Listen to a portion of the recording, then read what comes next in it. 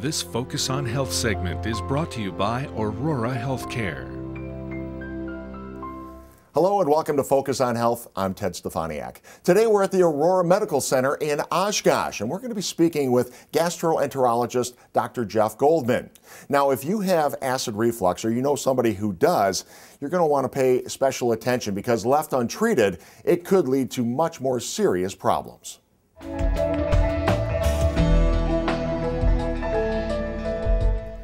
Good to see you once again, Dr. Goldman. Uh, Thank you. Nice let's, to be here. let's talk a little bit about Barrett's esophagus. I think a lot of people understand what acid reflux is, but one of the problems that can come along with acid reflux is Barrett's esophagus. That's correct. And basically, Barrett's esophagus um, is a condition that can occur both in men and women, although it does seem to statistically be more common in middle aged males. And um, basically, what it entails is chronic acid reflux over a period generally of many years uh, that um, backs up into the esophagus. And basically, the, the body, through more or less an adaptive response, uh, converts the lining of the esophagus uh, into a stomach lining. So that's basically what Barrett's esophagus is. And it can be very short segments as well as long segments the diagnosis of Barrett's esophagus because it's absolutely silent conditions. You don't feel it. There really are, are, no other symptoms other than your reflux symptoms. And, uh, and some patients have absolutely no symptoms. They're silent refluxers. So you can, can have it and not even be aware of it. So really the best way and really the only way that you can diagnose this confidently is to perform an endoscopy. That is a, an outpatient procedure that um, uh, requires um, uh, intravenous sedation. It takes perhaps 15 or 20 minutes, and it involves uh, just lying on your left side while you're being monitored, um, using a flexible uh, endoscope to uh, examine the esophagus uh, while you're sedated. And then basically what you come across is, um, is lining of the esophagus that looks like stomach lining, and that's the Barrett's esophagus. And then you can do biopsies, take tissue samples, and uh, that's just superficial samples of that uh, lining, and that will confirm uh, under the microscope that this is a Barrett's esophagus. And what is the biggest danger of a uh, Barrett's esophagus? Well, the, uh, the danger that uh, we all fear is that it can develop into esophageal cancer. And this is a, um, it's a somewhat uh, rare but, um, but not unusual uh, type of cancer. It can be very aggressive um, when it's diagnosed. And then the idea is to um, follow patients who have Barrett's esophagus and then rebiopsy this area periodically, what they call surveillance endoscopy. And you look for signs of what they call precancer changes called dysplasia, and it can be graded into high grade or low grade. Uh, but uh, be that as it may, once you find that, then you probably need to treat that. And prior um, to the past several years, um, the recommendations were to, if you found these precancer changes or you found esophageal cancer, it would involve removing a segment of the esophagus, what they call esophagectomy. But now we have techniques that this can be treated endoscopically through the scope. Is there a way for a person to avoid getting Barrett's esophagus?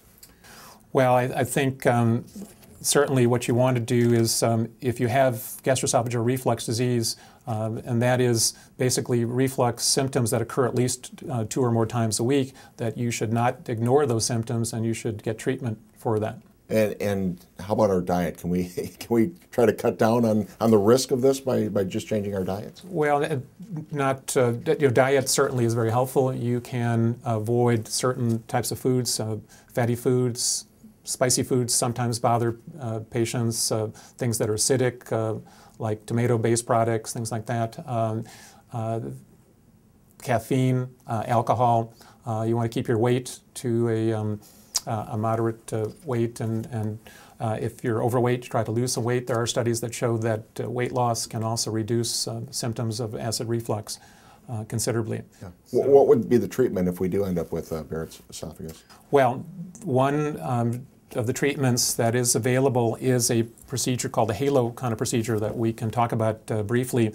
And basically, this is a procedure whereby uh, you can go in again with the flexible scope, and um, and then basically um, you apply a um, current, a radiofrequency current that heats the tissue and, and basically uh, ablates or destroys the, the tissue, the inner lining where the Barrett's is, and then as it heals, it heals with a normal esophageal lining. And um, you do this primarily for the uh, when, you, when, you, find the dysplasia, the precancerous changes.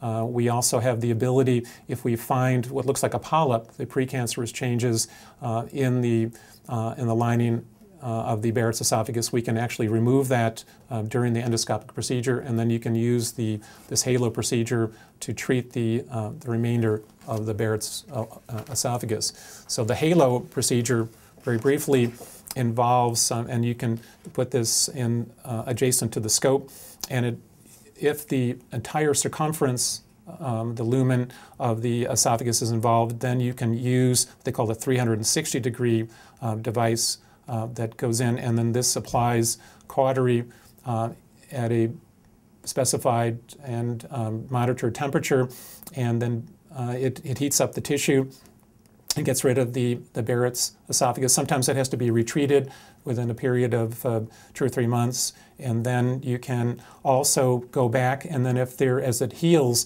if you have other patches of the Barrett's, then you can actually treat the small patches uh, with what they call a 90 degree uh, device. Right. So, and this is a special procedure that, that uh, not very many people do around this in this area. That's that's correct. And, and if a person you said it's kind of silent. You're not sure if you're not going to really know if you're going to have Barrett's esophagus. At what point should a person seek out uh, your assistance? Well, if they um, if they have chronic acid reflux, if you've had it particularly for several years, and uh, if you've had treatment that um, perhaps is breaking through and you're you're having symptoms despite your treatment, then um, certainly um, you should, should seek treatment for that. And then if, certainly if you're a middle-aged male who's had acid reflux symptoms for several years, uh, five years at least or longer, then you should consider at least being screened, having a screening endoscopy you know, to check you for Barrett's. All right, Dr. Goldman, great advice. Thank you once again. Thank you. My pleasure. If you have any questions regarding acid reflux or Barrett's esophagus, you can call Dr. Goldman here at the Aurora Medical Center in Oshkosh at 303 8700. I'm Ted Stefaniak, and we'll see you next time on Focus on Health. This Focus on Health segment has been brought to you by Aurora Healthcare.